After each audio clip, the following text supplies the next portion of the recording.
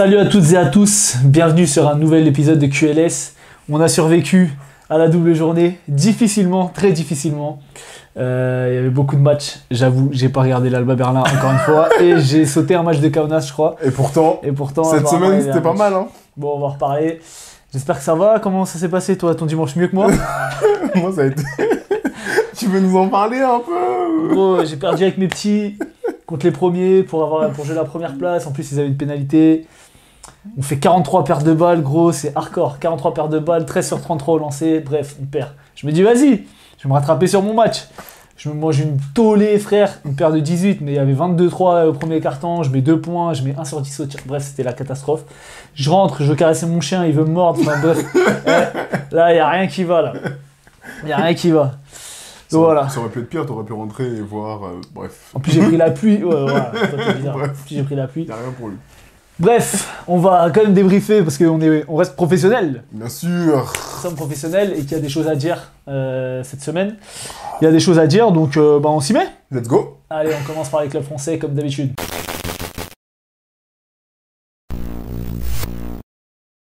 Alors, les clubs français. Bon, on rentre dans le vif du sujet sur l'Asvel. Non Commençons par Je Monaco vais commencer par Monaco. Oui. Je vais commencer par Monaco euh, parce que sur le premier match, Monaco joue, euh, joue Partizan. Euh, le Partizan qui est dans une bonne dynamique là depuis le retour de, de Kevin Punter. Et, euh, et On sur y ce. reviendra. On y reviendra bien sûr.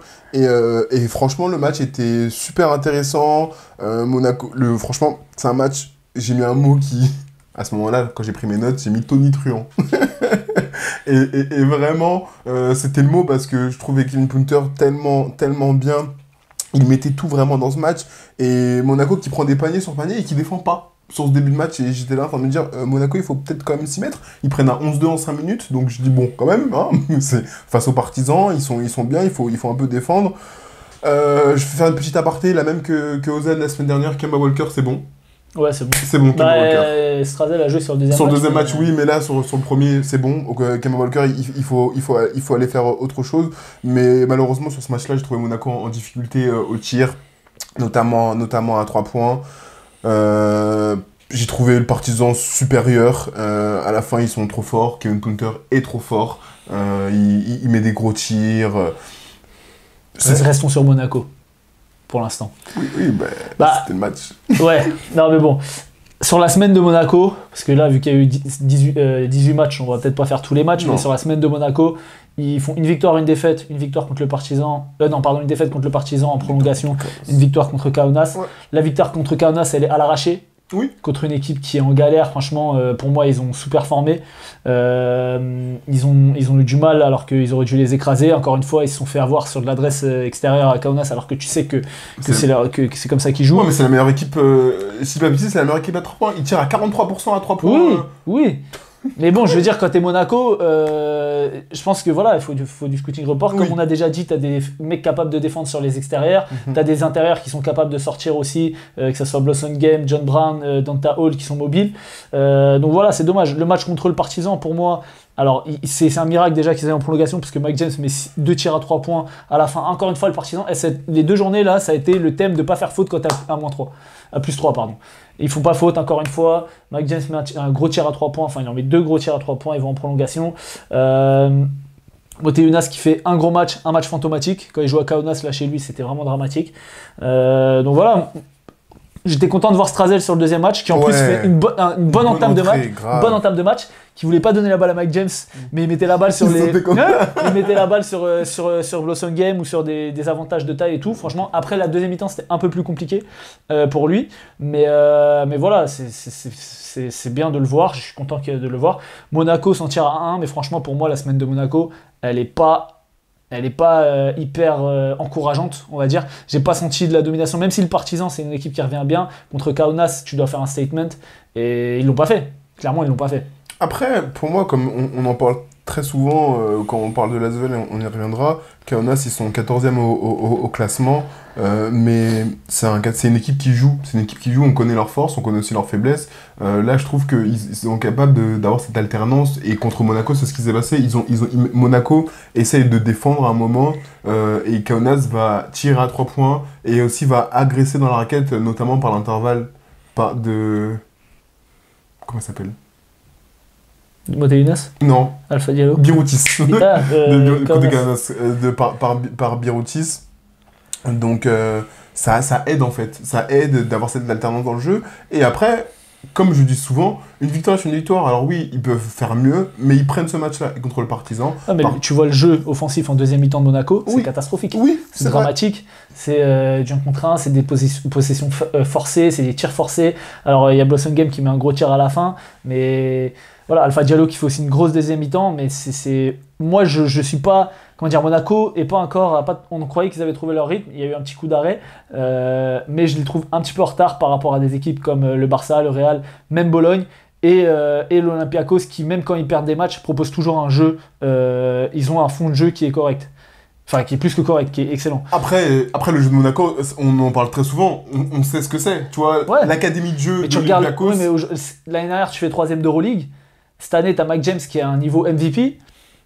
Tu domines pas tant que ça l'Euroleague. Et il y a des équipes, j'ai l'impression quand même, qui se sont renforcées et qui, qui ont progressé. Le niveau de l'Euroleague, euh, tout le monde le dit, euh, a progressé. Mhm. Donc, à voir. Ce que je veux dire, c'est que pour moi, euh, Monaco n'est pas encore au niveau auquel il doit être. Oui. Monaco n'est pas encore au Ils peuvent progresser. Ils sont bien. Oui. euh, au classement, ils sont, ils bien classés. Ils, Ils sont quoi cinquième. ils sont, Cinquième. ils sont cinquième. Oui. Ils sont cinquième 8-5. euh, à 8-5, donc quatrième égalité avec Basconia. Mhm. Euh, c'est- très bien, hein, c'est mieux que Lasvel, c'est sûr. Mais euh, dans, le, dans, le, dans le contenu, pour moi, euh, il y, a, il y a- il y a des améliorations à faire. Après, c'est que le début de saison. Pour l'instant, ils sont, ils sont cinquième, euh, ils sont égalité pour le top 4. Voilà, c'est bien. Ils auront l'avantage du terrain en playoff s'ils s'ils concrétisent euh, leur quatrième place. À voir. Mm. Autre chose à dire sur Monaco? Non, non, on est, on est bon là-dessus. On, peut découper la. On peut aller à Lasvel. Lasvel, j'avais annoncé deux victoires contre le Maccabi et contre Valence. Et euh, comme je connais très bien le basket, deux défaites. Regardez la vidéo, regardez ce que j'ai dit. Deux défaites. Je vais reprendre ce que j'ai dit. Alors reprends ce que semaine tu as dit. L'Asvel, c'est une équipe tremplin et pour l'instant, ils sont à leur place. Ils sont à leur place. Et ces deux matchs-là nous ont montré qu'ils étaient à leur place. Moi, je, bah, moi, je suis pas d'accord Parce avec que contre le Maccabi, contre le Maccabi, euh, Ils doivent le gagner, ils, le match. Ils font une, ils font une première mi-temps qui est très, qui est très bonne, euh, tant en attaque que défensivement. Et j'ai rien à leur dire, sauf qu'ils sont pas capables de répéter ces efforts-là sur 40 minutes. Et le problème, c'est qu'en deuxième mi-temps, ils se font découper, ils se font découper, ils prennent pas les rebonds, ils gâchent des possessions. Sur la transition, Maccabi a fait... C'est quoi Maccabi? Wade Baldwin, Lorenzo Brown, euh, Bonzi Colson, c'est des mecs... Josh Nibo, relou au rebond. Oui, non, justement, mais c'est quoi leur fond de jeu? Sur quoi ils, Oui, sont un forts? contre un, pick and roll. euh, Et transition. Transition, ouais. Qu'est-ce que Lasvel leur a donné? Un contre un, pick and roll et transition. Enfin, au bout d'un moment, je, je, moi, je comprends pas. Je suis pas genre professionnel. Je suis pas genre professionnel. Il y a des gens qui sont mieux placés que moi. Il y a des coachs qui sont plus intelligents que moi. Mais nourrir le Maccabi qui n'a pas beaucoup de fond de jeu, qui joue sur des individualités, des, des fortes individualités, mais des individualités, au bout d'un moment, on peut pas les nourrir de ça. Et c'est ce qui s'est passé. On, Ouais. on a laissé euh, Lorenzo Brown tricoter et courir. On a laissé Wade Baldwin faire des passes. Lorenzo Brown ne fait pas un énorme match, hein, je crois. C'est surtout euh, Le Wade deuxième, Baldwin, Wade bien Baldwin. sûr. Mais ce, que je, mais ce que je veux dire, c'est qu'on les a laissés courir, on, on leur a donné des pertes de balles. Ben, au, au bout d'un moment, tu te fais sanctionner comme ça. Tu te, tu fais sanctionner. La- à la mi-temps, je crois que du premier match, Lazel qui mène de 1 point. Et derrière, sur deuxième mi-temps, il faut qu'ils continuent là-dessus. Ça a été transition, transition, transition. Ils se sont fait découper au rebond. Euh, ils se sont fait marcher dessus. On parlait de, de James Nibo, pardon. Euh, juste avant, bah, il, les a, il les a massacrés. Je crois que le, Maga- euh, le prend 15 rebonds offensifs. Au bout d'un moment, des lay-ups solo. Moi, la dernière action, elle m'a rendu folle. Je sais pas si, tu l'as en tête. Il y a, comment ça s'appelle? Euh, Nando De Colo qui défend. Euh, qui pour, pour, pour, pour éviter de, que la balle rentre sur le terrain, la balle passe au-dessus et il y a un mec de, de, de Maccabi qui a un lay-up tout, tout seul, tout seul. Et c'était à l'image du match de Lasvel, c'est-à-dire ben voilà, si tu veux jouer, on défend pas et on marque plus de paniers, à ce jeu-là, Maccabi est plus fort. Ouais. Mais euh, tu vois, pour moi, Lasvel, ils sont à égalité ou à plus 1, un truc comme ça, à, à 40 secondes de la fin. Ils ont euh, plusieurs munitions Ouais. et ils ont des tirs grands ouverts Ouais. et ils les mettent pas. Ouais. Et, et Maccabi, comme tu dis, ils ont eu une chance de passer devant, ils l'ont pris. Et donc, du coup, moi, c'est ça qui me frustre euh, sur ce match-là encore plus parce que Lasvel doit gagner ce match mille fois et le perdre parce qu'on dirait à la fin, ils veulent pas gagner. Pourtant, ils sont dans le match. Il y a des joueurs qui font des gros matchs. Euh, ils, arrivent quand même à produire du jeu, mais à la fin, quand il faut mettre les tirs, et ben ils les mettent pas. Mais, oh, ils, ils- mettent pas les tirs, ils tiennent pas en duel. Ils tiennent pas en duel. Il y a des layups tout seuls, il y a des dunks faciles dans troisième. Non, au bout d'un moment, mettre des tirs, c'est une chose. Mais tu peux rater des tirs et derrière tenir en duel. Ils tiennent pas un duel, je te jure. Oh, tu re- regardes la, dernière minute, c'est scan- c'est scandaleux. Il y a pas un mec pour tenir un duel. Euh, Chelsea, il se, fait, il se fait déborder. Nando De Colo, il se fait déborder, etc. Au bout d'un moment, à ce jeu-là, après, je peux comprendre que Lorenzo Brown et Wayne Baldwin, c'est fort. hein. Mais prendre un panier, layup ouvert euh, sur une remise en jeu, il y a personne pour défendre, il y a Baleda à l'opposé, il y a même pas une faute ou quelque chose, c'est inadmissible. Bah, tu vois, moi, il y a un truc qui me saoule aussi, c'est que Bonzi Colson, il met 15 points. Mhm. Il met pas mal de petits tirs à mi-distance euh, dans la fin de match. Mhm. Il prend une anti-sportive parce qu'il tombe sous les pieds de Chelsea sur un tir. Sauf que ça, il le fait deux fois dans le match. Mhm. Donc normalement, il est censé avoir deux anti-sportives. Normalement, il est censé ne pas jouer la fin de match. Donc, si je suis Podzeko, je peux faire réclamation. Ouais, pourquoi il est encore sur le terrain, ce mec-là Mhm. Sachant qu'en fin de match, il met des tirs. Bref, ça c'est un fait de jeu. euh, voilà, c'est- la règle. La règle normalement, c'est que si tu tombes sous les pieds du mec, c'est anti-sportif. Il l'a fait deux fois pendant le match. Il a, il a été sifflé une fois faute normale, une fois anti-sportive. Les gars, soyez cohérents. Sur le match contre Valence, par contre, là, il n'y a pas de match. On a retrouvé l'Asvel de Ouais. TJ Parker. Vraiment, Euh, y a pas de match. Yousfal qui prend des fautes à la con. Ouais. Euh, pas de défense, pas de repli défensif, ils sont dominés au rebond. Voilà, alors que Valence c'est une équipe en perdition. Euh, bah, euh, Non mais c'est vrai, bah, alors là sur la semaine non, Oui. mais ils étaient en galère, ils étaient sur, sur 6 défaites d'affilée, un truc comme ça. Ouais, 5, mais là ils sont à 7-6, euh, ils se, se replacent oui, parce qu'ils 8ème. ils avaient commencé à 5-1. Donc, Mais euh, ils étaient, ils étaient, ils étaient à, 5-6 du coup, ils avaient perdu 5 matchs d'affilée. Mm. Donc, euh, donc euh, la semaine de Lasvel, bah, c'est la merde. Et moi, euh, je tiens à, à dire que maintenant je ne crois plus en eux. Parce que ils m'avaient montré du beau jeu, etc. Et euh, le match contre le Maccabi, c'était un match vraiment euh, pour moi qu'il fallait prendre. Comme je l'avais dit euh, la semaine dernière, c'était un match qui. Quoi on est le 10 décembre et c'est que maintenant que tu crois plus en eux Non, mais je suis désolé, depuis l'arrivée de Podzeko, et j'en parle souvent avec Philly, c'est que. On me dit, ouais, je suis trop pour l'Asvel et tout. Je suis pas pour l'Asvel, je m'en fous, moi je suis pour Campazzo. Mais, euh, mais c'est vrai que dans le jeu, il- tu vois la différence entre le début, les, les 4-5 premiers matchs avec TJ Parker et depuis que Podzeko est Oui. arrivé. Dans le jeu, il propose des choses, il y a des, une hiérarchie qui est établie, euh, ils appuient sur les intérieurs, ça défend mieux, ça replie et tout. Donc je me dis, vas-y, tu peux en prendre quelques-uns, tu vois, contre des équipes qui sont pas en top, au top de leur forme. Maccabi, non, c'était le cas. pas- Mais non, Mais- dit non. Mais là, tu vois, sur ces fins de match, encore parce que quand ils perdent le Barça, c'est le Barça, tu vois. Mais Ouais. là, sur ces fins de match, j'ai vu, ils ne veulent pas gagner. Et c'est mental. Et en fait, c'est, on en parle souvent en NBA et tout, faut apprendre à gagner. Tu vois, faut apprendre à gagner. Et eux, pour l'instant, bah, ils n'ont pas appris à gagner. Et- mais alors, je, je suis pas d'accord sur ces mentales, ils veulent pas gagner, je suis pas d'accord là-dessus, c'est pas qu'ils veulent pas gagner, ils ne peuvent pas. Moi, je suis désolé. Ils ne Quand t'as des tirs grands ouverts pendant de Colo à la fin de match pour Chelsea, alors que c'est un mec, C'est- des mecs qui, se- qui sont. Bah ouais, mais c'est mental. pas que ça. Pourquoi ils ratent ces tirs-là? Pour moi, c'est pas que ça. Pour moi, c'est pas que ça. C'est-à-dire que au basket, c'est oui, tu dois mettre des paniers, bien sûr, mais c'est pas que ça. C'est Quand tu vois la performance contre Valence, tu te dis pas, euh, il y a eu un, Ah, un truc de. Ah, vas-y, c'est bon, lâche l'affaire. Ah, mais ça, ça, oui, ça, Ah ils ont lâché, mais contre Valence, ils, ils se font découper dans tous les sens, tout est verrouillé. Non, mais pour moi, la défaite contre le. Maccabi a fait énormément de mal, ment- moralement parlant, parce que euh, c'est encore un match où, comme je t'ai dit la semaine dernière contre le Barça, t'es dans le match, tu perds, c'est le Barça. Mhm. Tu dis, vas-y, on va bien jouer contre le Maccabi, tu joues bien, t'as les balles pour gagner le match, tu perds. Encore une fois, t'es sur 5 défaites d'affilée, je crois, un truc comme ça. Et derrière, t'arrives contre Valence chez toi, et tu, et, et tu vois, ils y sont plus, les mecs. Tu vois qu'ils y sont plus. Et c'est dommage, parce que franchement, ils avaient re- relancé le truc, et là, j'ai peur pour la suite. Moi, perso, j'ai peur pour la suite. Se- Moi, je n'ai pas peur. Comme je l'ai dit. euh, Non, mais ce que je veux dire, j'ai peur dans le sens où, à mon avis, ça va, ça va être que des matchs contre Valence et pas des matchs comme tout ce qu'on a vu contre le Barça Maccabi, etc. On, on, ve- on- on verra bien, mais en tout cas, ils sont à leur place et, euh, et ils, vont, ils vont y rester. Comme je t'ai dit, euh, je disais, ouais, pour moi, ils peuvent se battre. Tu disais, ils peuvent se battre avec euh, Bayern, ils peuvent se battre avec l'Étoile Rouge. Non, ils sont à leur place. Là, ils sont 17ème à 2-11, comme Berlin qui est à 2-11. Ils sont au même niveau que Berlin et c'est la seule équipe qui peut, entre guillemets, regarder dans les yeux. Ils les ont battus. Toutes les autres, ils sont largement en avance, ils sont largement devant. L'effectif du Bayern, il est peut-être moins clinquant en termes de nom, mais ça joue beaucoup mieux au basket. Ils ont plus de force que l'Asvel. Toutes les équipes là où tu disais, non, peut-être que l'Étoile Rouge qui est dans une brave galère et on y reviendra, ils sont largement devant. L'Asvel, ils sont à leur place, ils sont 17ème. Je suis désolé, au bout d'un moment, c'est leur place. Ok. Bon, eh ben écoute, on va passer sur euh, les autres clubs, donc sur le weekly review. Ce serait pas le daily review. C'est parti, transition. Ok, bon alors, on va faire un peu les semaines, euh, Bon, on va pas trop rentrer dans tous les matchs en détail, mais on va faire un peu les semaines des, des clubs déjà qui ont fait 2-0 sur cette semaine. À commencer par un club euh, qui a fait 2-0, ouais, c'était hyper inattendu, mais qui avait pas une semaine facile, qui a joué deux fois en Grèce contre l'Olympiakos et contre le Pana.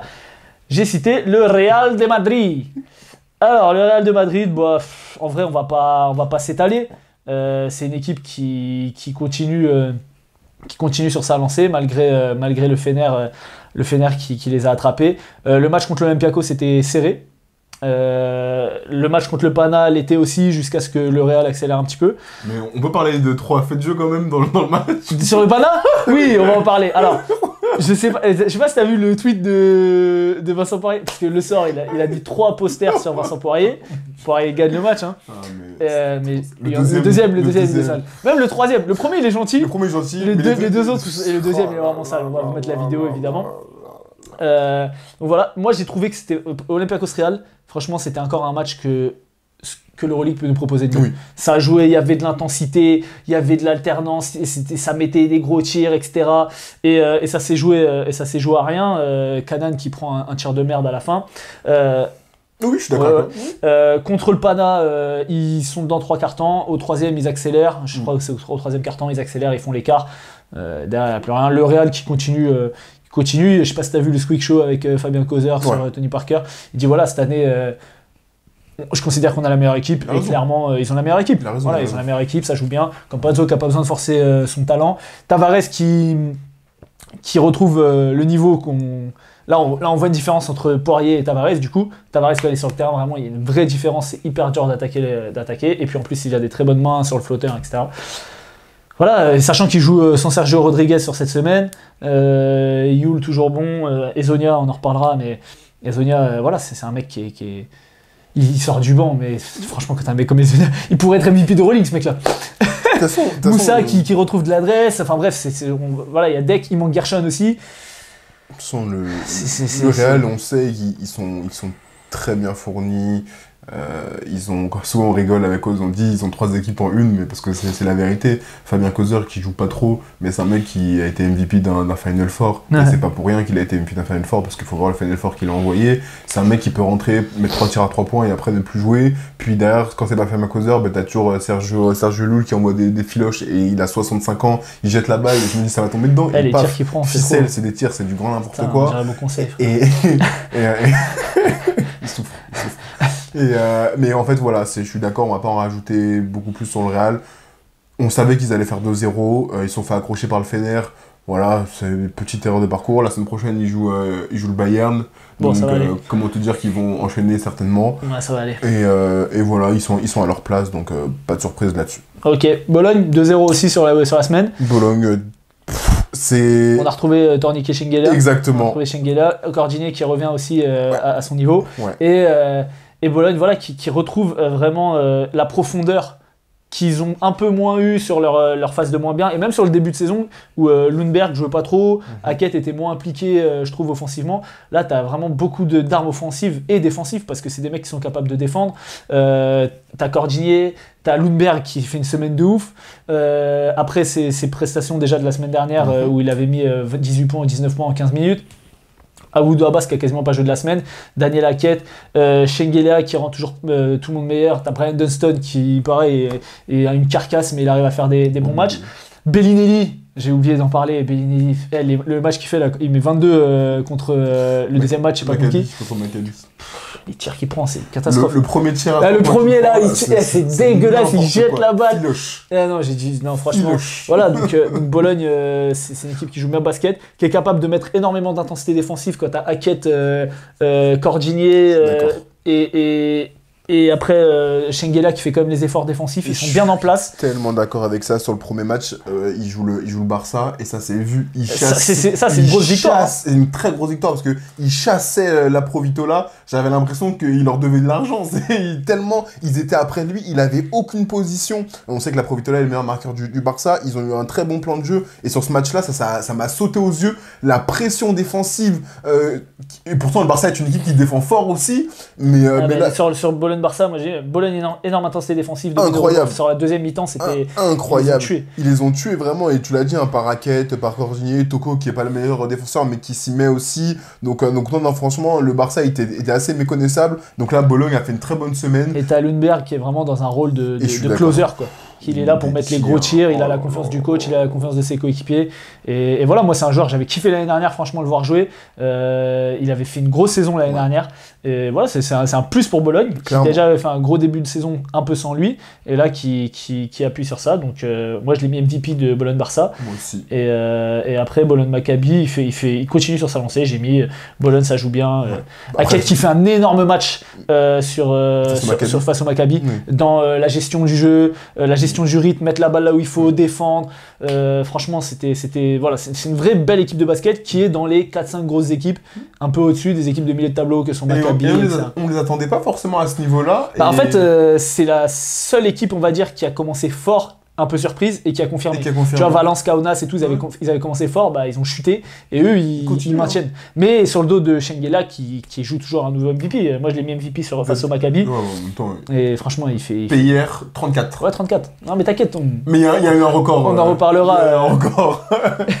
Il y a eu un autre record auquel on va, on va venir un peu plus tard. Euh, ok pour Bologne. Euh, du coup, ensuite, une autre équipe à 2-0, Valence. Alors, Valence, euh, moi j'ai pas envie de m'étaler dessus. Ils gagnent l'Asvel, et ils gagnent qui? Il gagne Lasvel et il gagne. euh, j'ai- tu vois, j'ai un doute maintenant. Euh, Bref, ils gagnent l'Asvel, on va voir qui- contre qui ils gagnent. C'est là, au début de semaine. euh, L'étoile rouge. Ouais, donc voilà, c'était pas des équipes, euh, c'était pas des gros matchs, on va dire. C'est bien de les prendre. L'Étoile Rouge, c'est une équipe qui est aussi en galère en ce moment. Euh, L'Asvel, on n'en parle pas, enfin, on en a déjà parlé. Voilà, Valence qui a, qui a- qui a un peu retrouvé son. C'est une équipe qui joue bien au basket, globalement, euh, comme on l'avait déjà dit, avec des relations intérieures, entre les intérieurs, entre Damien Inglis, Brandon Davis, Victor Claver, euh, les extérieurs, Chris Jones, Jared Harper qui met pas un tir à 3 points, mais par contre, euh, en vitesse, quand il, quand il accélère, c'est compliqué. Voilà, Valence, c'est. Ils ont gagné, oula, ils ont gagné deux matchs. Ils ont mis fin à une série de, de 5 défaites. Voilà, ce qui, vu leur gros début de saison, qui leur permet d'espérer, moi je pense qu'ils feront pas les play-in. Avec l'équipe qu'ils ont. Gros, euh, c'est chaud, hein, play-in. Hein. Play-in, c'est hein. 10, hein Ouais, c'est 10. Hein. Ah, gros, pour moi, ils vont pas finir devant les fesses. Ils vont pas finir devant le Fener. Bah alors, pour l'instant, les fesses, ils ont des, ils ont des blessés. Donc, Ah, mais ils ont euh, gagné. Bref, on va en oui. parler, mais ils ont gagné les deux matchs cette c'est- semaine. Oui, mais pour l'instant, ils ont, ils ont des blessés. Après, ça, le play-in, ça va être la guerre. hein. Ouais. Parce que là, ils vont passer aucune. Ils vont passer ni Olympiakos, ni Partizan, ni Monaco, ni les, les quatre premiers. Ça, c'est sûr. Pour moi, le Pana va passer. dev- Moi, Valence, j'y crois pas trop. On verra, hein, peut-être que j'aurai tort. On verra qui sera à la place du con. Voilà. Mais, euh, mais voilà, en tout cas, ils, ont, ils avaient deux matchs contre, ils avaient deux matchs contre des équipes euh, de leur niveau au plus faible. Ils ont pris les deux. Euh, bravo à Valence. Les fesses, du coup, qui fait. Attends, ils font 2-0 ils font 1 Parce que j'ai dit de la merde, peut-être. Les fesses, ils prennent le premier. Ils prennent, ils prennent contre le Pana. Et ils font 2-0. Non, ils font 2-0. Ils font 2-0. Euh, c'est juste que je l'avais pas mis. Ah oui, j'ai pas mis les clubs turcs dans mes trucs. Euh, donc ils font 2-0. Les fesses qui fait 2-0 malgré pas de Will Clyburn, pas de Derek Willis, pas de Ante Zizic, pas, de Rodrigue Bobois. Euh, et il y en a un autre, je crois, qui est pété. Il s'est, blessé pendant Et pas de Elijah Bryant qui est, Ouais. qui est là, qui est pas là depuis un moment. Mais. Et c'est pas, et c'est pas plus mal. Qu'est-ce que je t'ai dit la semaine dernière c'est pas plus mal. Qu'est-ce que je t'ai dit la semaine dernière avec toi, mais c'est pas plus Là, t'as les deux têtes d'affiche, entre guillemets, euh, Shane Larkin et Darius Thompson. Oh. Et autour, c'est des soldats, des mecs qui Les sont là pour mettre des Et tirs, prendre des rebonds et tout. basket. Et ça joue plus au basket. La balle, elle bouge. La balle, plus, elle, ils ont elle un- tourne. Il y a des remontées, ça descend. Darius Thompson qui, qui trouve sa place. Shane Larkin qui fait du Shane Larkin. On va y revenir. On va, on va lui Il y concentrer. a Timor Place aussi qui deux petites, euh, deux petites minutes, mais ça fait, ça fait du bien. T'as Eric Jones qui fait un boulot monstrueux. Monstrueux. Oh là là. La- le le Ouais, taf on en a parlé la semaine dernière, mais Ouais. Jaune, c'est quelque mais il faut, il faut le redire encore parce que non, ce qu'il fait, c'est incroyable. En fait, c'est c'est son impact physique, la présence, le, les, comment dire, sa capacité à couper dans le bon timing, à toujours être placé au, au bon endroit, à avoir des bonnes mains, de remettre de l'intensité, de l'agressivité, de prendre des rebonds. Non, moi, je me, je me suis. euh, Moi, franchement, c'est un mec qui était en Eurocup l'année dernière. Pour moi, c'est déjà un des meilleurs 5, un poste 5 de Ah l'Euroleague. ouais, franchement, il fait, il fait un boulot.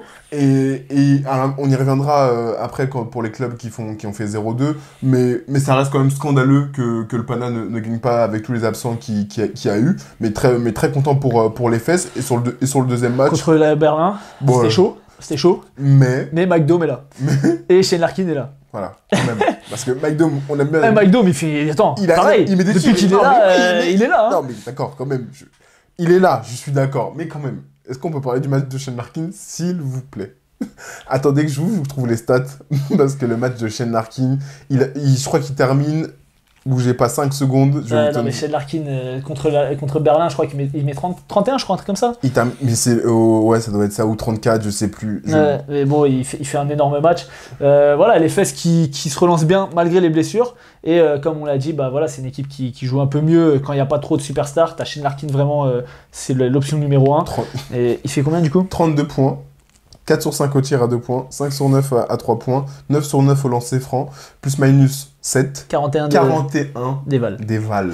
C'est le record Euroleague, il était trop fort. C'est le record C'est le 41 record. Ah ouais C'est le record d'Euroleague, 41. C'était Quand il fait son match à 49 points, il, met- 30, 39, 39. C'est 39 qui fait le match. euh, Non, il fait un match à 49 points. Mais il fait, il fait, pas, il fait pas plus de 41 d'éval Parce que sur le record Euroleague, c'est lui qui l'a mis, il met 49 points. Ouais, mais je crois qu'il fait pas plus. C'est le record. Mais, euh, Peut-être cette saison alors. Ouais, mais 41, c'était une dinguerie. Ah. En fait, il prenait pas une mauvaise décision. J'ai pas regardé le match. Ah, voilà. C'était Berlin. Ah, Tu slip. Tu Non, gros, Berlin. Ouais, j'avais trop de matchs, gros. slip. Moi, j'ai vu tous les matchs. Il y avait trop de matchs. J'ai vu tous les matchs. Mais toi, t'as pas de travail. ah, ok. On dit que je suis au chômage. J'ai deux travail. Je vois.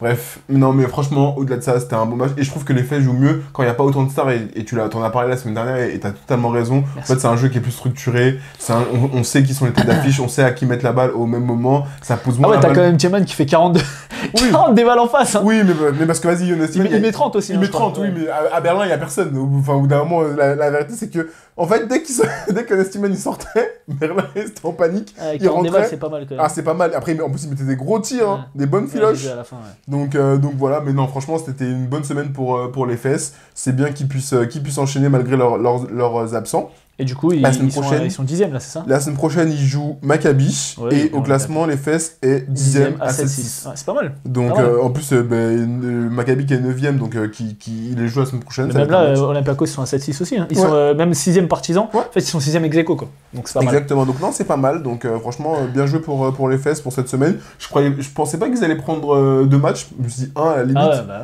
Mais sûr, franchement, Berlin. Oui, Berlin, tu le disais, mais bon. Pas mal, pas mal. Ok, bon, donc du coup, il nous reste euh, Basconia et euh, Partizan. Tu veux commencer sur qui à 2-0 là? Mais à culpa. Mais à culpa, monsieur Marcus Howard.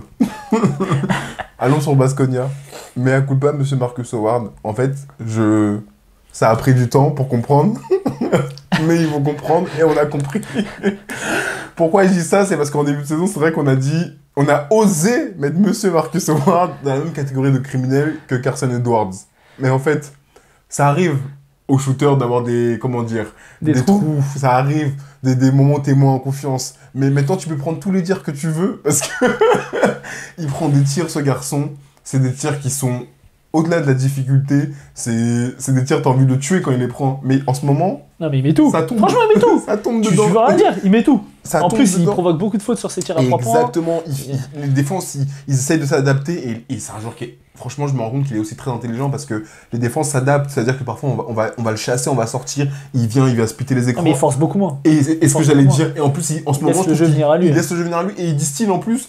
Il distille. Par contre, s'il voit le cercle, il dégaine. ah bah. Mais voilà, c'est moins dans euh, dribble, dribble, dribble, dribble, euh, voilà, C'est- surtout sorti l'écran, j'ai un, un centimètre, je dégaine. Et puis en général, c'est dedans quoi. Et en ce moment, c'est dedans. Et même quand il en rate 2-3, après il peut t'en mettre 3 d'affilée. Donc c'est- c'est c'était obligé de défendre. C'est ce qu'on disait, t'es obligé de défendre sur lui. Et ça, ça- Mais pourquoi il est aussi fort? Et je veux donner mon chapeau et ti- tirer mon chapeau à, à un joueur, à Cody Miller McIntyre. Ah bah, qui fait une grosse semaine lui aussi. Hein. Il fait une très très grosse Et puis il a semaine. un Thomas là, la claquette dunk à la Iman Shumpert là. Il va la chercher comme ça. Boum sale, Oh là là, ça me rappelle moi, euh.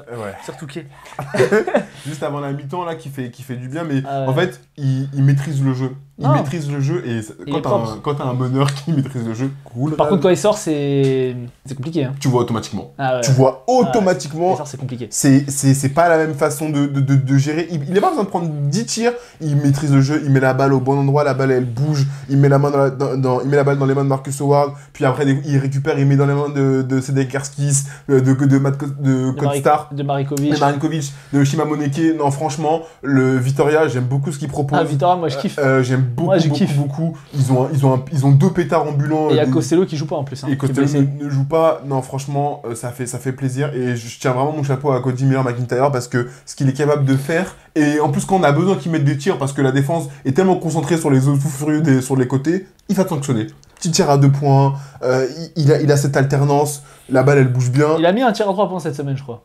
Ah bon? Ouais, il en a mis un. Il en met un. Parce que bon, à 3 points, c'est pas trop ça, mais franchement, il- sur pick and roll, tu, il- Il découpe. les, les passes qu'il arrive à trouver, Ouais. c'est vraiment fort. Il, il découpe. 6 victoires sur 7 matchs depuis l'arrivée de d'Ivanovic. Pas mal, hein Ça va l'étoile rouge Non, ça va pas trop l'étoile rouge aujourd'hui. Hein. Euh, non, bah voilà, franchement, Basconia, euh, Basconia ils sont top Ouais. euh, 4, on a dit. Ils sont devant Monaco. Ouais, c'est ça, ils sont 4 euh, Et voilà, moi je trouve que c'est une belle équipe. J'ai hâte de les voir aller jusqu'en playoff, parce que pour moi ils feront direct les playoffs. Parce qu'ils vont avoir l'avantage du terrain au premier tour. On verra s'ils tiennent sur la longueur. C'est toujours les histoires de blessures et tout, mais bon. Ils ont quand même un, un bel effectif avec des mecs quand il y en a un qui tombe. Parce que Moneke a été un peu moins en vue cette semaine. Mais bon, t'as toujours Sedekarskis, t'as toujours euh, Marinkovic. Enfin bref, ils ont quand même beaucoup d'armes. Euh, et, ça- et ça joue bien ensemble. Et puis ça joue autour de. Voilà, t'as vraiment l'option numéro 1 qui est Marcus Howard. T'as euh, Shima Moneke qui est un peu l'électron libre. Au même titre que Sedekarskis, au même titre que Marinkovic. Marinkovic, un sacré shooter aussi. Sacré shooter qui plante comme Mais même euh, là, ils ont, euh, il y a Ro- Ro- Rogavopoulos, qui plante, il y a Diaz qui plante. Non, ils ont, ils ont des postes de 3 euh, costauds, 2-3 qui sont, euh, qui sont costauds, qui peuvent défendre et qui peuvent mettre des tirs. Donc franchement, c'est pas mal, Basconia. C'est pas mal. La semaine prochaine, il joue euh, Bologne. Ah, ça, ça va être pas mal. C'est un très beau match. Virtus, très beau match. Ouais. Ok, et bah du coup, on, on finit sur, euh, sur les clubs qu'on fait 2-0, on finit sur, euh. Sur le Partisan. Oui. Les Partisans qui, euh, depuis l'arrivée de Caboclo, euh, pas mal du tout. Hein. Il leur fait du bien. Il leur fait du bien à l'extérieur. Il leur fait du bien à Et le, l'intérieur. enfin pardon, en fait, non, je me posais la question. Non, mais on va y venir sur le retour du monsieur, bien sûr. Oui, bah, parce que c'est surtout ça, en fait. Oui, on va, on va, on va, on venir, mais t'as très bien fait de commencer par, par Caboclo parce que euh, il a un impact euh, physique assez, euh, assez important dans. Il, il a vraiment, il est long. hein. il, est, long, il a des il longs est il est grand, costaud. il est long, il est costaud, il, Il prend de la tirer, place. il est athlétique. Alors là, sur cette semaine, il y, a, il y a des matchs où il a fait des fautes un petit peu euh, assez, assez vite et qui peuvent l'handicaper, mais, euh, mais sa capacité à mettre des tirs extérieurs, sa capacité à se retrouver dans la raquette, ça leur fait tellement du bien. Mais bon, maintenant, on peut dire les termes, on va, y- on va y revenir. Le retour de Monsieur Kevin Punter, c'est- quelque chose. C'est c'est un joueur, Ah ouais. c'est un joueur du. Pour moi, c'est un petit KD. Ouais. Il joue pareil. En plus, ils ont un peu la même euh, morphologie en Il est petit, tu vois. petit, plus petit, Mais il a des longiligne, euh, prendre des tirs. euh, Il est ah, ouais, ouais, franchement, c'est c'est- c'est- Et il est en- vraiment fort. Et en plus, les tirs qu'il met, quoi, c'est un plaisir à, à- à le voir jouer. Et en plus, Kevin Punter, c'est vraiment le joueur. Il y a des joueurs comme ça qui. Vraiment comme Kevin Durant, où tu te dis, il peut être à 0 sur euh, 15. Et quand il y a les 4 dernières minutes qui vont arriver, tu te dis, oh putain, il va commencer à mettre des tirs celui-là. Et c'est toujours ça. C'est il, est, il, il fait partie de ces joueurs-là qui sont en capacité de te punir, même quand ils font pas des bons matchs. Spoiler, il a fait des bons matchs. Bah, contre Monaco, il fait un énorme match. Et contre Milan, il fait un énorme match aussi. Spoiler, il a fait des bons matchs, mais, euh, mais vraiment, il, il a, il a régalé. La doublette James Nolali, euh, Kevin Punter, elle est, elle est très forte. C'est ce que je te disais il y a quelques semaines. L'absence de Kevin Punter handicapait James Nolali parce qu'il était beaucoup plus ciblé. Ouais. Donc forcément, c'était plus facile de défendre le partisan. Sauf que là, quand il y a les deux euh, en Bon, même ils, ont, temps, ils ont reperdu euh, Abramovic qui s'est enculé la cheville pour. Il, a- il en a pour deux mois, je crois. il était en larmes en plus, le pauvre. Ouais, il s'est- donc, bah, euh, t'as vu l'entorse euh, j'ai pas fait- regardé. Il s'est fait sacré entorse. Ouais, j'ai pas, Mais ils ont regardé. signé euh, Yogi, Yogi Ferrell apparemment. Ouais, mais bon, vas-y, ça, on verra bien ce que ça donne. Ah, tu connais, hein C'est un petit meneur, là, Iago Dos Santos et tout, euh, ça peut toujours faire du bien. hein. Fait, Surtout euh, que là, ils ont vraiment perdu Abramovic, quoi. Euh, parce que, comment il s'appelle, là, le, le, le blond, là Leur meneur, là. Le jeune, là. Putain, Oui, je sais plus comment il s'appelle. Yaramaz. Yaramaz. Bon, il, a, il a fait quelques bons matchs, mais Je bon, c'est à d'accord. quelque chose. Je pense Ouais. à Yakov de Lasvel, mais pardon. Euh, non, mais voilà, euh, Caboclo. euh, alors, par contre, les, les tresses de Caboclo, faut, moi, tu vois, j'ai jamais fait de tresses, mais quand même, faut doser. C'est trop court. Elles sont trop moches. Elles sont vraiment trop moches. Je fais des tresses gang, Vous moi, avez- j'en ai où Est-ce que vous avez vu votre gars, à chaque fois, on est là, on parle de basket, il veut toujours ramener quelque chose. Le lifestyle, la dernière fois, c'était Isaiah Thomas, c'était pas un noir ou je sais pas quoi, euh, c'était un light skin. Là, maintenant, c'est les tresses. Mon gars, t'as un problème ou Non, mais on est là pour discuter. Non, mais Franchement, les tresses de Bruno Caboclo, tu les fais, toi Moi, je les fais pas. Voilà, d'accord. Moi, je les fais pas non plus, frère. C'est catastrophique. je peux pas. Je peux, gros. Euh, donc voilà, Partisan 2-0, Ouais. euh, qui remonte bien au classement aussi. Ils étaient un peu en galère sur le début de saison. Grave. Là, maintenant qu'ils sont un peu au complet, alors ils ont perdu Abramovic quand même sur deux mois, donc ça, c'est, ça peut faire mal quand même, euh, à voir comment ils s'adaptent. Ils commencent toujours avec trois grands maintenant. Euh, sur le match contre Monaco, ce que je veux dire, c'est que Monaco, ils ont été incapables de punir les mismatchs. Ils ont mis un grand sur Yakuba Ouattara. Yakuba Ouattara, il n'a pas joué. Après, ils ont fait rentrer Alpha Diallo. Ça n'a pas trop marché. Donc, franchement, ils commencent toujours avec Ledé, Smilagic et euh, Kaminski. Euh, ou Caboclo. Enfin, il y a toujours un des, ils commencent toujours avec trois grands et puis avec PJ Dozer sur, euh, donc ils ont vraiment de la taille quoi. La tripette, la, la tripette, elle, elle- Ouais. elle fait, elle fait mal. euh, C'est une équipe. T'as as besoin, as besoin de mettre des tirs extérieurs. Contre Monaco, ils ont pas pu le faire. Monaco n'a pas réussi à mettre des tirs extérieurs, donc ça les a beaucoup han- handicapés. Euh, mais ouais, ils commencent avec des grands. Ils sont assez grands, ils sont assez vite, ils se projettent rapidement vers l'avant. Donc non, non, c'est c'est une belle équipe. La semaine prochaine, euh, Partizan joue. Kaunas. Spoiler, Ouais. ils vont gagner. Euh, soyez pas bêtes. Et, euh, et au- en termes de, de classement, ils sont, ils sont 6e à 7-6, hein, dans, dans, dans le même wagon euh, des, des équipes Ouais. à 7-6. Donc, euh, donc non, ils se sont bien replacés et, et c'est très bien pour le partisan. Ils ont éclaté Milan sur la, la deuxième mi-temps. Ils mettent 31, ils mettent un 31-4 sur les, les- les dernières, enfin les 20, 15 dernières, 20 Ouais, 20 15 dernières minutes. Je vais y ça. arriver. Donc, donc voilà, le Partizan est en forme. On passe sur les équipes qui ont fait 1-1. Donc on va commencer par le Barça qui a joué Bologne. Oui. Donc on l'a dit, qui a perdu, qui a, qui a été, euh, qui a fait un gros match. Hernan Gomez qui fait une grosse semaine, qui fait une grosse semaine. Euh, Jokubaitis qui fait une Une semaine cataclysmique. Non, même pas, en fait. Et dans la lignée de ce qu'il fait depuis un petit moment. Non, j'avoue, souvent je rigole avec cause de dire ah, t'es dur, etc. Mais... Il est nul Ah ouais, là, franchement, c'est trop. Il peut, eh, il n'a pas progressé. Il n'a pas progressé. Il, il- il peut mettre une fois de temps en temps des drives, des petits flotteurs et tout, que sur sa main gauche. À mi-distance, il est irrégulier au possible. À 3 points, il met une fois de temps en temps. Ouais, En plus, il se fait trouver en défense. Ah, franchement, euh, et, et en plus, c'est un mec qui, qui dribble beaucoup.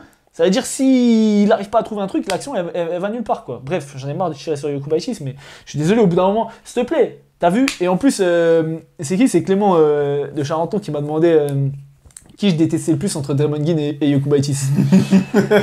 et Draymond Green, moi je le déteste plus parce qu'il a la bouche de ouf. Tu vois, il est nul, mais en plus il a la bouche. Au moins Yokubaitis, t'as vu, c'est un jeune, il parle pas à ça. C'est juste que pour l'instant il est en difficulté. Moi je lui souhaite que, euh, tu vois, j'ai pas la rage contre lui. C'est juste que pour l'instant il est pas bon et qu'il a été quand même élu euh, il y a deux ans Meilleur meilleur jeune, meilleur jeune d'Euroleague. L'année dernière il a fini deuxième derrière Yann Madar. Pour l'instant, c'est compliqué pour lui.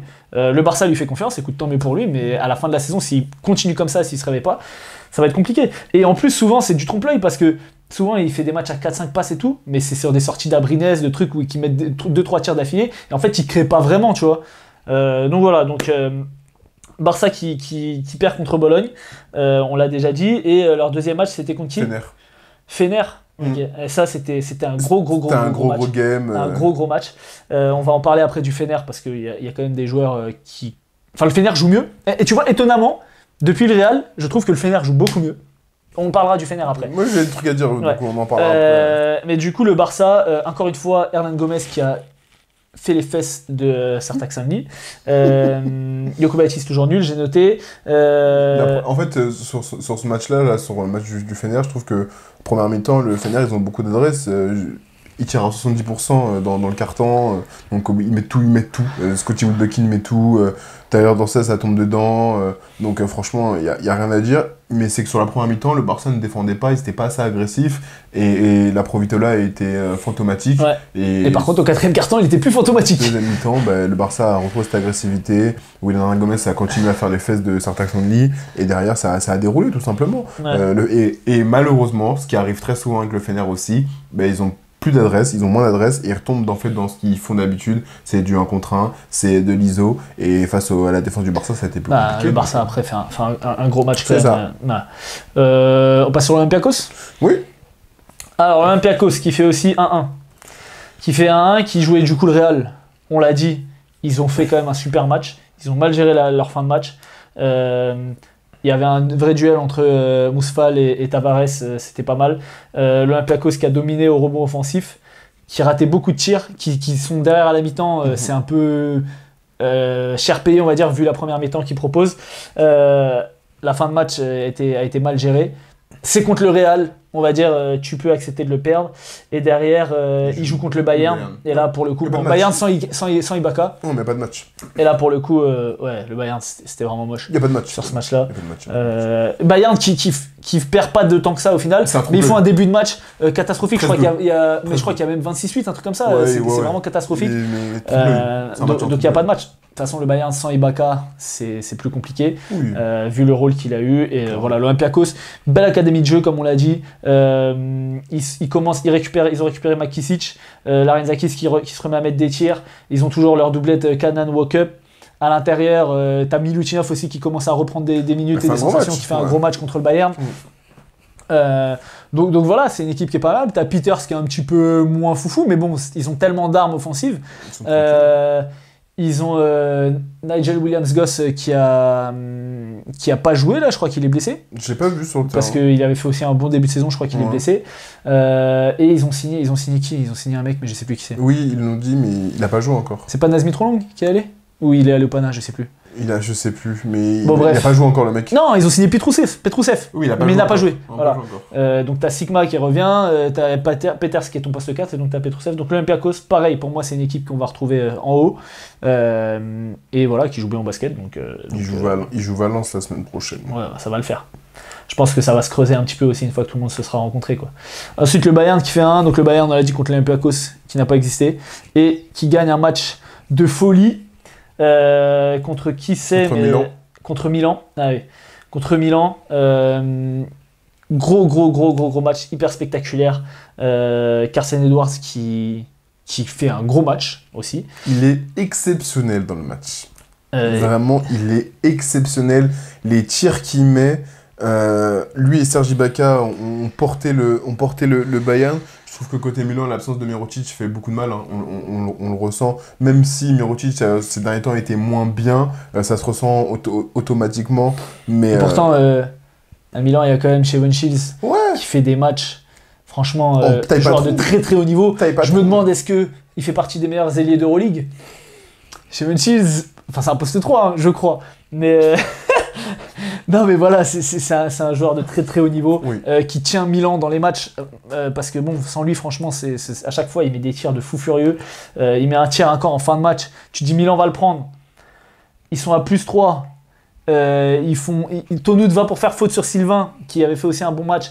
Il tape la balle, la balle va en l'air, elle atterrit dans les mains de Sergi Baka qui tire à 9 mètres, shoot au buzzer, égalisation. Filoche. Et derrière, il y a Carson Edwards qui met 11 points en prolongation. Il est trop fort. Il est trop fort. Euh, donc franchement, voilà, Ibaka et Edwards, euh, Ibaka je crois qu'il fait un 24-13, un truc comme ça, enfin j'ai plus les stats, mais il fait, il fait un énorme Il match. fait, il fait 20, 20 et 12. Ouais, c'est pas mal. Et Carson Edwards, il met 32. 32. Ouais, tu vois, franchement, il faut- les deux là, et, et Sylvain aussi a fait un bon match. Oui. Il met 11 points, euh, 4 passes, voilà, je vois. Donc, euh, le Bayern, euh, franchement, bah, c'est une équipe qui, je pense, euh, excède un peu les espérances qu'il y avait en début de saison, euh, et qui tourne bien. Il y a Wellerbab, sachant qu'il leur manque Bolmaro, euh, et il leur manque euh, Obst aussi qui est blessé. Euh, Bolmaro qui est une- quand même une pièce importante. Donc, euh, donc tant mieux, écoute, ils font 1-1, c'est pas mal sur la semaine. Ils sont, Euh, ils sont à 6-7, ils sont 14e. euh, Ouais, si 7 13e au t'es classement. t'es- t'es à un match des, des, des, six- des cinquièmes, quoi. Tu, Donc, tu, de toute façon, euh, c'est ça, t'as toujours un, un groupe pour l'instant qui se, qui se détache pas trop. Ils sont à leur place. euh. Euh, on parle de Maccabi puis de Berlin, enfin Berlin vite fait parce que je, je crois que t'as des trucs à dire. Maccabi euh, qui battent Lasvel, on l'a dit tout à l'heure, qui battent Lasvel sans être hyper convaincant non plus quand tu joues contre Lasvel, euh, qui, qui, qui pour moi aurait dû perdre le match, mais bon, euh, qui, comme c'est contre Lasvel, bah, ça passe. Euh, Wade Baldwin qui commence à retrouver du rythme. Lorenzo Brown un peu plus en difficulté par rapport au deuxième match où là sur le deuxième match il est vraiment monstrueux. Euh, c'est contre qui le deuxième match? Bologne. Ils gagnent le premier, ils perdent le deuxième. Oui, c'est ça, et perdre contre Bologne. Donc, Oui. donc Bologne, c'était, c'était compliqué. Euh, j'ai dit Maccabi joue comme les Pacers parce qu'il y a eu beaucoup de euh, paniers encaissés, euh, remise en jeu, ça relance très vite. Euh, Lorenzo Brown qui a été, euh, qui a été bon, mais, mais on l'a dit, Bologne qui a dominé. qui a dominé en plus au rebond le Maccabi, ce qui est pas dans leurs habitudes. Ça. Donc voilà, Maccabi, toujours pas convaincu. Ils arrivent à gagner des matchs. Je sais pas comment taille leur calendrier, j'ai pas leur calendrier sous les yeux, mais euh, Ils jouent qui la semaine prochaine, le Maccabi? Ils jouent les fesses. Les fesses. Ouais, bah, tu vois. Moi, je pense que les fesses, il y a moyen de faire un truc. À voir. À voir, hein. Bah, après, le Maccabi aussi, c'est un peu biaisé parce que bah, ils ont pas, euh, ils peuvent pas jouer à domicile. Pourquoi, on ne sait pas. Euh, D'ailleurs, non mais indépendamment de ça, est-ce qu'on peut me dire pourquoi le Maccabi Tel Aviv joue l'Euroleague? Ils sont pas en Europe, frère. Quand les, les équipes turques, au moins, il y a une partie d'Istanbul qui est en Europe. Kari, bientôt, euh, on va faire une équipe du Caire qui va jouer ou de Dubaï. Non mais c'est vrai, je- ils sont pas en Europe. Pourquoi ils jouent l'Euroleague? Et c'est pareil en Champions League. Enfin bref. Mais même les, les euros de foot et tout, je crois ils sont dedans. Bah, La, la poêle euh, Nicosie. euh, la- non, mais les euros, équipe nationale, ils jouent pas en championnat d'Asie, je crois. Je crois que l'Israël, ils jouent en championnat d'Europe quand ils font les. Il y a les- la Ligue des Champions, oui, c'est la Non, pas la Ligue des Champions, l'Euro, les équipes nationales. Ah, l'Euro Je crois que. Ah, je sais pas. Je sais pas s'ils jouent. en- Bon, bref. En tout cas, je sais pas ce qu'ils foutent en Euroleague.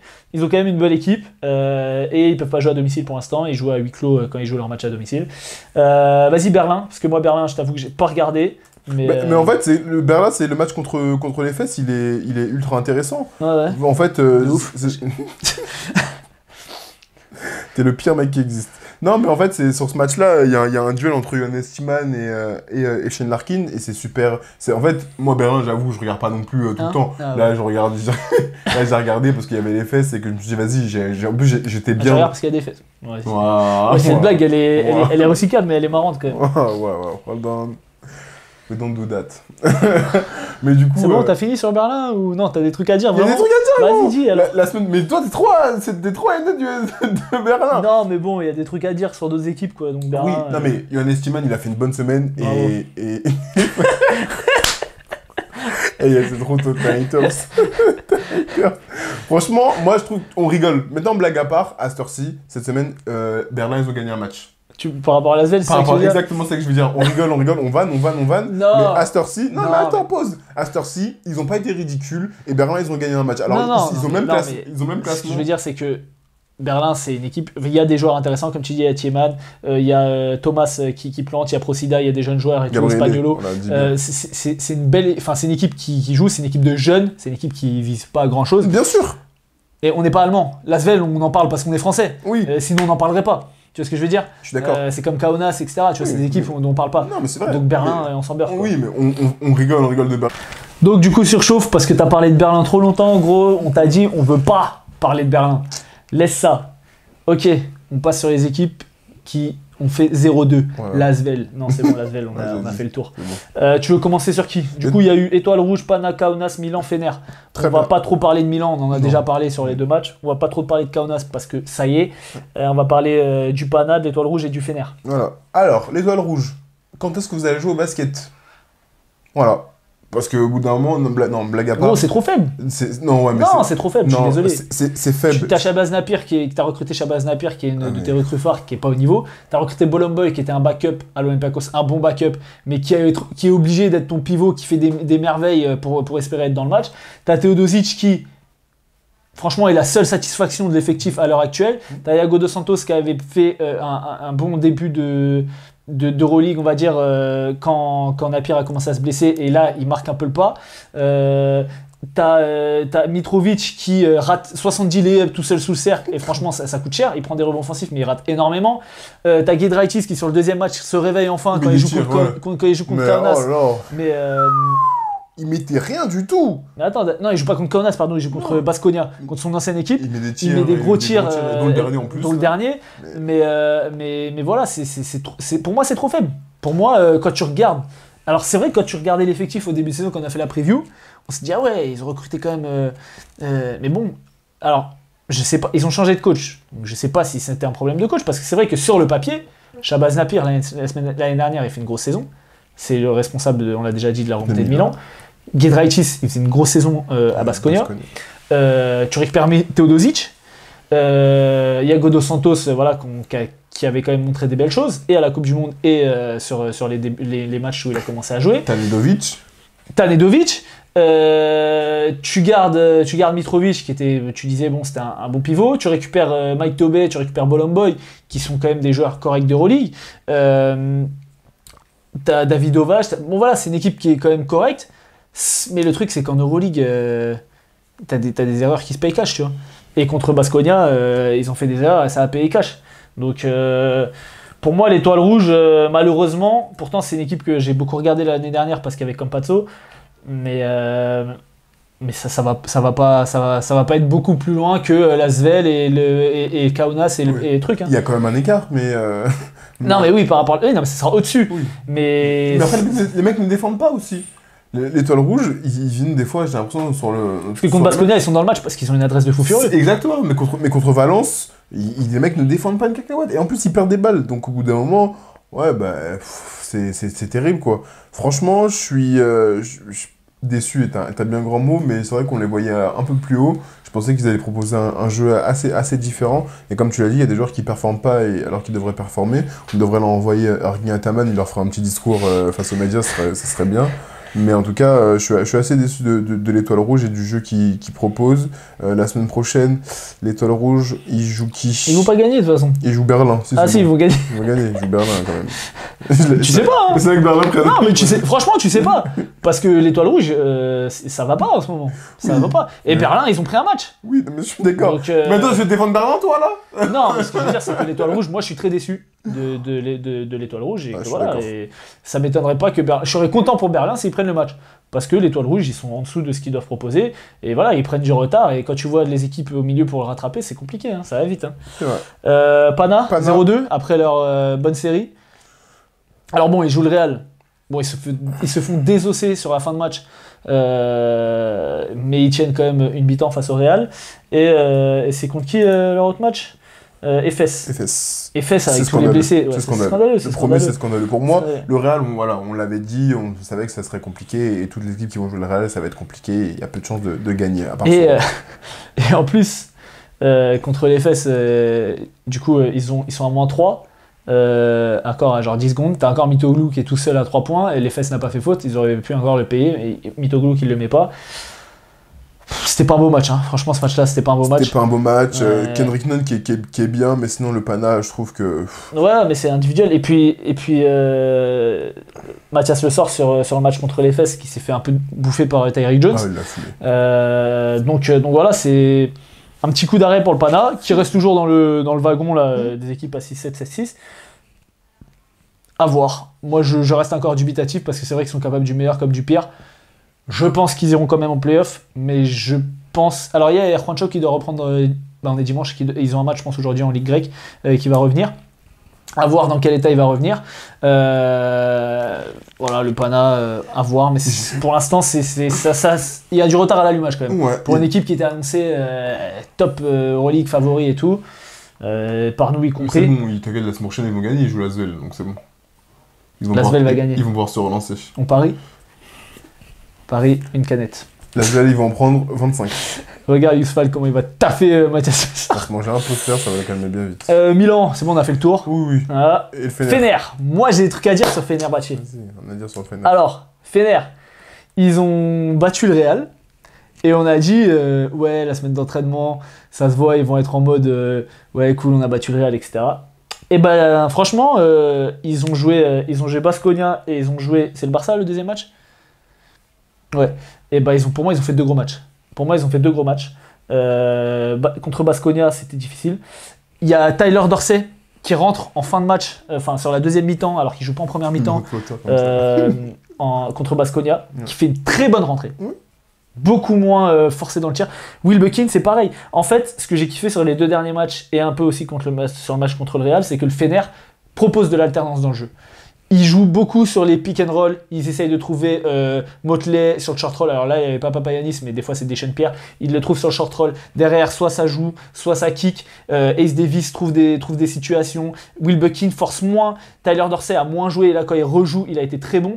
Contre le Barça, il a été très bon aussi dans le drive and kick. Il fait 4 passes au premier quart-temps. Euh, il finit à, je sais pas, 17 points, un truc comme ça. Il a de l'adresse. Voilà, c'est une équipe qui propose pour le coup du beau basket, qui s'est un peu éloigné de son truc de je tire à 3 points, je tire à 3 points, je tire à 3 Je points. suis pas d'accord. Et qui, qui moi je trouve que euh, ils, ont, ils ont beaucoup plus joué sur pick and roll, sur le short roll. Ça a été très bien fermé en deuxième mi-temps par le Barça, et du coup là ils ont été plus en difficulté. Mais quand tu vois par rapport au début de saison où Will Buckin et Dorsey c'était vraiment des trucs de terroristes, je trouve que c'est quand même beaucoup mieux. Euh, notamment en plus, euh, il y a, hum, il y a pas Papayanis comme on l'a dit, et Motley fait moins de fautes bêtes. fait Il a joué les deux matchs, c'est euh, il, a, il a joué les deux matchs quand même. Donc, euh, donc voilà, contre Basconia ils perdent parce que Tyler Dorsey met un flotteur pour passer à plus 1. Et parce que Gouduric prend un tir de Gouduric- terroriste aussi à la fin, en fin de Ouais, match. mais Howard il met un 3 points avec la faute, Oui. euh, archi dur, et après Guduric, encore une fois, c'est ce qu'on avait déjà dit sur un tir de Will Buckin euh, en fin de match. Non, c'était Lorenzo Brown qui avait pris un tir de, de terroriste comme ça, step back à 9 mètres, alors que t'es dans le bonus et t'es à, et t'es à moins 2. Euh, c'est vraiment stupide. Euh, contre le Barça, euh, moi, moi je trouve que le, Fener a bien joué. Ah, si, ouais, Papayanis n'a pas joué, voilà. Et puis là, pareil, la Provitola met un gros tir à la fin. C'est deux équipes qui sont dans, le, dans le top de l'Euroleague. Et ils ont proposé quand même, je trouve, du beau jeu. Ils prennent pas la victoire parce que le Fener pour moi est un petit peu en dessous de ces équipes-là. Mais, euh, mais moi je suis plutôt agréablement surpris de leur manière de jouer par rapport au début de saison.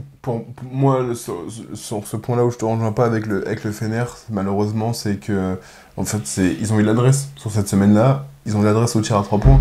Et on sait très bien que quand ils ont l'adresse, ben, c'est plus facile. Mais j'aimerais les voir quand ils sont plus en difficulté, qu'ils ont moins d'adresse. Là, contre le. Euh, contre Basconia, ils tirent à 40,9% à 3 points, donc quasiment 41%. Ils font 9 sur 22. Contre Barcelone, je crois qu'ils sont à 50 ou 55. Ils sont à 50%, ils tirent à 10 sur 20. Donc forcément, ça aide, ça aide pour. Oui, mais tu vois, ils prennent pas 30 tirs. Non, oui, Ils prennent 20 tirs à 3 points. Oui. C'est une équipe qui en prend 30 d'habitude. C'est- vrai. C'est parce que les tirs sont mieux amenés. Je trouve, tu as de l'adresse parce que c'est les mecs, c'est des shooters et que les tirs sont mieux amenés. Et d'ailleurs, il y a Madar aussi, j'en ai pas parlé, qui euh, fait des, des bonnes performances. Ça, je suis trouve, d'a- ça, je suis d'accord, Yann Madar. apporte. Ça, je suis d'accord, Yann Madar, il, il- ce qu'il apporte. Euh, pour, pour moi, c'est une équipe qui est, qui est toujours. euh, voilà, j'attends de voir s'ils vont vraiment pouvoir progresser, s'ils vont vraiment pouvoir amener de l'alternance. Parce que pour moi, c'est une équipe qui continue à. Quand ils sont en difficulté, on l'a vu sur la fin de match, notamment contre le, contre le Barça, euh, dès qu'ils ont un peu moins d'adresse, ils retombent dans leur travers, tir à 3 points, ISO, tir Ouais. à 3 points, ISO. Après, c'était le Barça, quoi. Donc, ouais, c'était le Barça. Tu, pouvais, Mais- tu vas pas t'attendre non plus à ce que le Fener, ils ont déjà tapé le Real, tape le Barça et Basconia à la suite. C'est pas ça, je veux qu'ils gardent cette, académie- cette académie de jeu, même quand t'es en train de perdre, Oui, même quand ils mais le Barça, a pour moi, c'est très bien adapté. C'est-à-dire qu'ils jouaient très bien sur le short roll avec Motley, avec Oui, ils ont changé de défense, Et bien ils, sûr. ils sont, ils- les, les, les, les aides sont montées beaucoup plus Ouais. Et ont coupé ce- cette relation. C'est c'est vrai. Et ça a tout changé. Et du coup, bah voilà, après, crédit au Barça. Moi, plus crédit au Barça par rapport au Fener. Fener fait 0-2, mais, euh, mais, mais, mais Mm. j'ai trouvé ça quand même pas mal. On, ver- on- on verra bien. euh, La semaine prochaine, le, le Fener, il joue à... Il joue qui? Il joue pas? Si, si, il joue, Ah, si, Monaco. Ah, il joue Monaco. Ah, ça va être un beau match, ça. Il joue Monaco. Un beau match. Donc euh, à- à Fenerbahçe, à Istanbul. Donc euh, on, on verra bien ce qu'il en, ce qu'il en est pour, euh, pour, pour ça. Après voilà, le Fener, bon, pour l'instant je, je m'emballe pas trop. Là en termes de, de classement, euh, ils sont ils sont où ils sont, ils Ils sont sont là. 12e dans, dans le même 6-7, wagon des ouais. 6-7 là. Donc on, on va voir ce que ça donne. Ok, on passe au top et les flops Vas-y. Allez, les top et les flops, c'est parti. Alors, dis-moi tes tops. Quels sont tes tops, quels sont tes flops Alors, le, les posters de Mathias. non, je plaisante. Mon, mon- premier top, c'est Marcus Howard. C'est Marcus Howard pour cette semaine-là. euh, parce que. euh, et, après, je, fais un petit top aussi avec Vitoria de façon globale. En fait, j'aime le jeu de Vitoria. C'est une équipe que, que je regardais l'année dernière, notamment pour euh, Darius Thompson. Euh, et que j'aimais déjà beaucoup ce qu'il ce qu'il proposait. Et la perte de Darius Thompson, je me suis dit peut-être que ça va leur faire un, un coup dur, ce qui en soi est, un coup dur quand même. Mais ils réussissent euh, le moyen de se renouveler. Euh, ils ont réussi le moyen de, de, de, de prendre, des, de prendre des matchs, d'avoir un jeu qui est ultra tourné vers l'avant, beaucoup de courses, beaucoup de, de tirs externes. Et Marcus Howard, parce que c'est vrai qu'il a eu un début de saison compliqué, on disait ah, c'est quoi ce criminel, il prend des tirs, t'as envie de le brûler.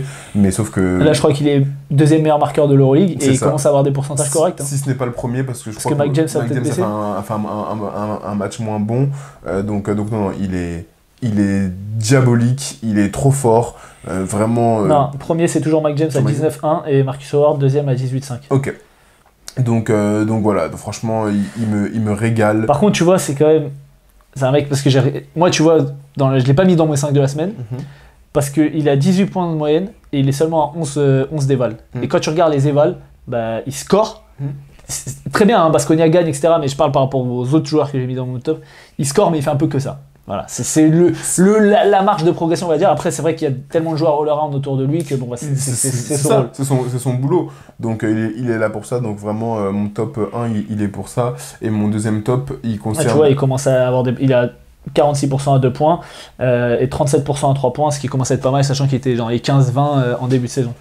Et il faut les voir les tirs qu'il met. quoi. Ouais, faut voir les tirs qu'il met en plus. Donc euh, franchement, c'est un très, un très très bon pourcentage. Euh, ok, bah écoute, moi je suis d'accord pour Basconia. Euh, J'ai mis le Partisan aussi, parce qu'on bon, on en a déjà parlé en top, mais, mais c'est une équipe qui, qui, qui tourne plutôt pas mal, qui a trouvé un peu, euh, qui tente des trucs avec Zelsko Bradovic, euh, euh, justement qui tente son truc avec les trois grands, qui a retrouvé Kevin Punter. Euh, donc voilà, c'est une équipe aussi qui, en plus, aller jouer là-bas, franchement, à chaque fois, euh, quand je, même si on n'est pas sur place, euh, tu sens l'ambiance et tout, c'est une dinguerie. Euh, donc le Partisan, euh, deuxième top. Moi, moi, mon deuxième top, c'est les fesses euh, pour la semaine. Moi j'ai mis juste Mike Dom. C'est- non mais c'est vrai, parce que franchement, euh, depuis qu'il est arrivé, il performe de ouf. il, perf- il performe, il a su relayer. Et moi, je mets les fesses parce que déjà sur cette semaine-là, je les ai trouvés, euh, je les ai trouvés très très bien. Euh, il gagne deux matchs et Ouais. c'était inattendu, notamment. Bah, vu tous les blessés, ouais. Vu les blessés, il y a Yilmaz qui s'est pété l'épaule encore en plus, euh, ouais. contre je sais plus qui là. Donc, donc non, franchement, merci, euh, merci les fesses pour cette semaine parce qu'ils ont fait vraiment du, du beau travail. Et pour ça, je souhaitais leur donner un top. Très bien. On passe sur les flops. Bon, les flops, je pense qu'on a les mêmes. Lasvel, Lasvel, Lasvel, chips. Lasvel. La Svel, euh, ils auraient dû gagner Maccabi. Euh, ils le gagnent pas. Non, ils auraient pas dû gagner, ils sont juste nuls. Non, mais indépendamment du fait que ce soit la Svel, si tu regardes la physionomie du match, c'est Oui. deux équipes genre, euh, que tu connais pas, Oui. ils doivent gagner ce match-là. Ils ne le gagnent pas. Contre Valence, ils font un non-match. Voilà, la Svel, une semaine très mauvaise. Je le dis parce que les gens disent Ouais, j'aime trop la Svel. Euh, je m'en fous de la Svel. T'as vu la belle araignée là-bas? Oui, il y en a depuis tout à l'heure. mais j'ai pas, j'ai pas peur, donc c'est bon. Ok, super. T'as peur du chien peut-être. Euh, Peut-être. Très bien. Et j'ai mis l'étoile rouge, euh, bon, euh, en flop Je aussi. suis parce que, d'accord. bon, Putain, on a euh, les mêmes. Bah, en même temps, voilà, c'est c'est- c'est- c'est deux équipes qui sont euh, un peu au fond du trou. Ah, vraiment. Euh, et voilà, on en a déjà parlé de l'étoile rouge, pourquoi on les met dans les flops. Le 5 de la semaine? Oui. Alors là, il y a du lourd. Le 5 de la semaine. Alors ton 5, mon petit pote.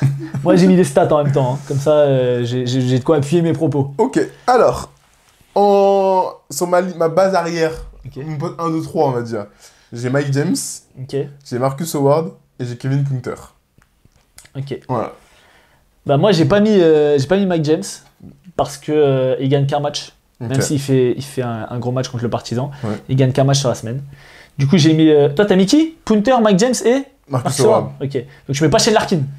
J'ai hésité, j'ai réfléchi. Parce que je vais te donner les stats de Shane Larkin sur la semaine. Mais il fait 32, j'avoue. Il fait j'avoue. 26 points, 72% à 2 points, 43% à 3 points, Vas-y, 43% au lancer, J'avoue, j'avoue. 30 dévals en moyenne non, sur la semaine. Vas-y, 30 dé- Shane Larkin, c'est bon, c'est bon. Shane. Larkin, voilà. J'avais hésité, Shane Larkin, c'est vrai. En poste 2, j'ai mis Kevin Punter également. Ouais.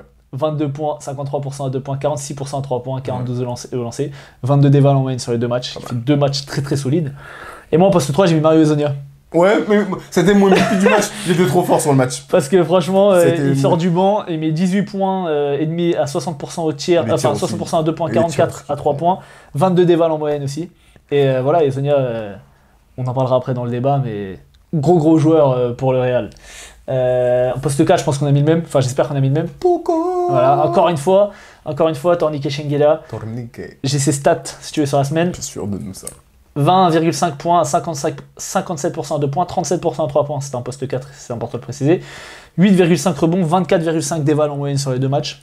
Bon Correct Correct joueur. Bon joueur, bon joueur. T'as mis qui en 5 Walter Tavares. Ah, moi j'ai mis Tyreek Jones, mon gars Ouais, c'est vrai. Tyreek j'aurais- J'aurais Jones. dû le mettre. Parce que les stats qu'il fait là, Les sur stats, le match là, il fait un match à dû- 34 déval, je crois. C'est vrai que j'aurais dû le mettre. Et euh, donc il est à 17 points, 8 rebonds, à 65% à 2 points, 80% au lancer, parce qu'il tire pas à 3 points. Mm. 24 déval en moyenne sur la, sur la semaine.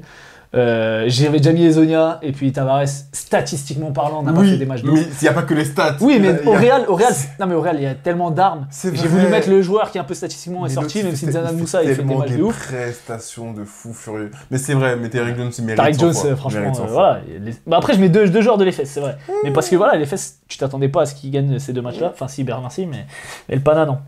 Euh, ok, on passe sur le débat? Vas-y. Allez, le débat. Alors, le débat du jour. Pour toi, maintenant qu'on a fait un tiers de, de la compétition, à l'heure actuelle, qui est le meilleur sixième homme d'Euroleague Moi, je te dis les noms pour un peu t'aider, euh, Ouais, parce que peut-être que t'as pas réfléchi J'en ai, plusieurs en tête. Moi, j'ai Ezonia, Ah ouais. Shima Moneke, Oui. Willy Hernan Gomez qui sort toujours du Oui, banc, Marcus. Gabriel Deck qui sort souvent du banc, Elio Kobo Oui. et Marcus Howard euh, qui sort aussi du banc. Hmm. Alors, pour toi, c'est qui le meilleur sixième homme? Moi, j'ai déjà une idée. Je, vais avec le mec Mais, de c'est- mais chaud. Moneke ou Howard? Euh, Marcus Howard. Alors parce que. en Moneke, fait, il est deuxième à l'évaluation. Enfin, il- je sais il pas est- s'il est, il, il est était toujours. mais deuxième à l'éval, euh, Shima Moneke. Et euh, pour ce qu'il propose. Il est quatrième. Il est à 20, 20, un peu plus de 20 déval. euh, c'est c'est- c'est très. Galère, il a bien premier. hein. c'est- oh mon dieu Il, met deux, deux points déval à tout le monde. hein. Oh mon dieu Bref, passons. Euh, c'est une question qui est, c'est une très bonne question qui est, qui est un peu difficile en même temps parce que c'est des, des registres et des styles de jeu tellement différents. Ouais. C'est-à-dire que tu vois, quand Gabriel Deck qui rentre, euh, il apporte tellement et la connexion Gabriel Deck Facu Campazzo, le jeu sans ballon allez regarder. Le jeu sans ballon, il est toujours dans le bon timing, au bon endroit. Il met juste les mains, la balle elle arrive, on sait pas comment parce que Fakou est un magicien. Pouf, deux points. Euh, ils, se, connaissent tellement par cœur, c'est magnifique à avoir joué. Mais en même temps, comme tu dis très justement, la force de frappe du Real fait que j'ai l'impression c'est presque un peu Facile, plus facile, ouais. tu vois. Pareil pour Mario Ezonia, quand il rentre, il a des tirs des fois qui sont grands ouverts et des fois il a des tirs où il a un joueur, il a un mais joueur tu sur vois, lui. Tu vois, moi pour moi, à la différence de Moussa qui a vraiment des tirs grands ouverts, Ezonia, il me fait du post-up, des fadeaways et tout. Ah oui Et pour moi, Ezonia, c'est un joueur, tu le mets euh, dans une équipe en option numéro 1. C'est un MVP de ouais, top, un top 2 peut facile. être Bien MVP sûr, je suis, je suis d'accord. Et, euh, et c'est pour moi que moi c'est mon, c'est pour ça que moi c'est mon choix. Ok. Ezonia. Parce que dans les stats, euh, il est peut-être un petit peu en dessous de, de, de, de Marcus Howard, etc. Mais je pense qu'en termes de temps de jeu au Real, il n'y a pas beaucoup de gens, il y a pas beaucoup Oui. de joueurs qui jouent énormément. Mm. Et, et il tire un peu moins que. Et je pense qu'il a des, des super pourcentages. J'ai pas les stats, mais je vais les trouver. Euh, et, et voilà, c'est un joueur pour moi qui a, a eu une- a fait des choses en NBA, a fait des choses étant plus jeune. Et, euh, et j'espère que après s'il reste au Real, ça me va aussi, mais qu'il aura, qu'il sera un peu plus au centre d'un projet pour qu'on voit jusqu'à où il peut aller, parce que c'était vraiment un jeune potentiel de fou, de fou furieux quand il était, euh, quand, il, quand il est arrivé en NBA. Clairement. Donc, euh, donc je sais pas si t'as les stats sous les yeux, mais ouais, Mario et Zonia. Ah bah oui, mais t'as juste Mario. Et euh, donc voilà. Mais euh, tu, Eli Okobo, non, un peu en dessous quand même. hein. Un peu en dessous par rapport. euh, Intrinsèquement, non, mais pour ça, au niveau des stats, Là, les- par rapport aux stats, euh, un peu, en, un peu en dessous, et je trouve qu'il a eu beaucoup de matchs. c'est pourcentage. Pardon. Il a, eu, il a eu beaucoup de matchs où il était, il était plus, en, plus en difficulté dans, dans, son, dans son entrée. En 18 minutes. Hein. De... En 18 minutes. Hein. Ah oui, mais ah, mais de toute façon, j'ai aucun 11 doute. hein. en 18 minutes euh, 11 en déval, moyenne. euh, il tire- à 59% 2 points, 42 à 3 points et 90. euh, Au tir, il dans le 50, 40, 90. C'est pas mal, enfin, Qu'est-ce que tu veux lui dire de, de plus en- Et au Real Madrid, la concurrence est folle. euh, il, il a Ouais, place, euh, il a une place euh, assurée. Il joue, il produit. Donc non, non, ce, ce- choix, il, il va. Après, pourquoi je vais avec Marcus Howard C'est au-delà de sa capacité à mettre des tirs, c'est que quand il rentre, il est beaucoup plus ciblé qu'un Mario Ezonia. Tu vois, quand Marcus Howard il rentre, et je vois les, les défenses qui s'adaptent sur Marcus Howard. Ouais. Alors que quand Mario Ezonia Marcus rentre, Mario Ezonia, quand il rentre, il, il, il, il peut être ciblé, mais en même temps, il faut faire attention à, à, à Facu Campazzo, il faut faire attention à Gabriel Deck, il faut faire attention. Alors, c'est pas de la faute du Real, Oui, hein. mais Marcus Howard, si le système n'est pas jou- joué pour lui, est-ce que c'est un aussi fort joueur? Parce que Basconia le met très bien, c'est un fort joueur. Ah oui, mais et Basconia lui met- le met dans les meilleures situations possibles pour qu'il ait ses Com- tirs. complètement. Voilà. Euh, après, moi, ça se tape aussi avec William Gomez. Parce que mine de rien, le Barça fait une énorme saison. Et, euh, et il fait aussi une grosse, grosse saison. Il a fait des gros matchs là sur les derniers matchs. Après, il y a Yann Vezeli qui prend énormément de place aussi parce que bah, c'est- il, fait, il fait une énorme saison aussi. Moi, Isonia, ça me va. Écoute, mais après, on en reparlera à la fin de, la- à la, fin de la saison. Je sais pas s'il y a un trophée. Je crois pas qu'il y a un trophée de 6 homme en Euroleague. Mais, euh, mais euh, c'est c'est les stats de qui ça? Ça, c'est. Euh, de euh, bah, euh, tu veux, oui. William Gomez, il est à 12-2, 5 Ouais, mais en combien de temps de jeu? 17 minutes 17 minutes. Tu vois, Ah c'est oui. dingue. Ah, Il est à 13 déval en 17 minutes. Mais en termes de rentabilité. Ouais, euh, c'est c'est très fort. C'est très très fort. Il joue combien de temps, Marcus Howard En moyenne? Un peu, euh, Il a joué plus, hein, je Il pense. joue un peu plus. 23 Ah, il joue minutes. 23 minutes, tu vois. C'est quand même euh, 6 minutes de plus que. Et en termes d'éval, ouais, donc bref, voilà. En termes d'éval, il est un peu plus bas, Marcus Howard.